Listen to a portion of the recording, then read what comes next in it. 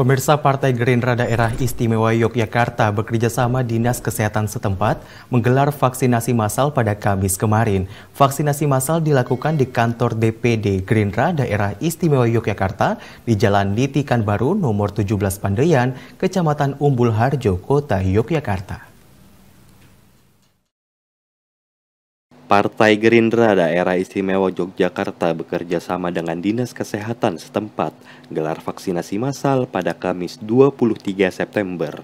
Vaksinasi massal dilakukan di kantor DPD Gerindra Daerah Istimewa Yogyakarta, Jalan Nitikan Baru nomor 17 Pandean, Kecamatan Umbul Harjo, Kota Yogyakarta.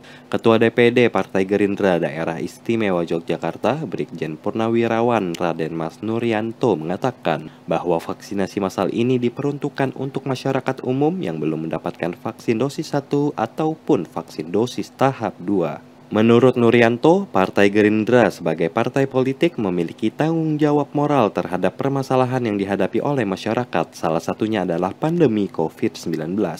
Nuryanto menambahkan vaksinasi yang dilaksanakan Partai Gerindra sebagai upaya dukungan pemulihan ekonomi serta sebagai upaya memulihkan kepercayaan diri masyarakat Yogyakarta agar sektor ekonomi bergairah kembali. Namun Nuryanto mengingatkan bahwa vaksin bukan berarti menghilangkan potensi COVID-19.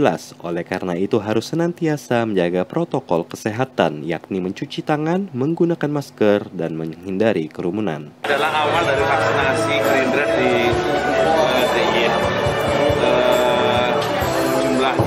minimal kami akan melakukan 10 ribu vaksin dan 4 kami akan terus dilakukan oleh teman-teman DPD di bawah kepemimpinan Romo Nur dan teman-teman lainnya.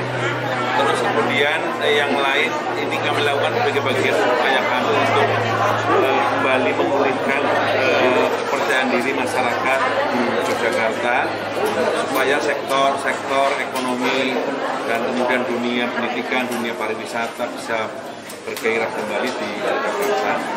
Meskipun vaksin bukan berarti kemudian menghilangkan uh, potensi uh, COVID-19, tapi ini adalah upaya dunia uh, dalam rangka menghindari sehingga kami ingin menjadi bagian dari sebuah proses besar dalam menyehatkan masyarakat dan semua warga. Terima kasih Pak. Untuk menarik masyarakat agar segera mendaftarkan diri, Partai Gerindra Daerah Istimewa Yogyakarta mengadakan door prize. Beragam hadiah menarik disiapkan oleh panitia mulai dari kipas angin, magic jar hingga perlengkapan mandi. Suasana pun semakin meriah dengan lantunan musik-musik khas Jawa yang sedang trending di masyarakat. Meski dibuat santai dan gembira, panitia tetap mengutamakan protokol kesehatan masyarakat yang ketat, seperti setiap peserta vaksin wajib mengenakan masker di area vaksinasi, menyediakan tempat mencuci tangan, dan selalu memperhatikan jarak antar peserta vaksin.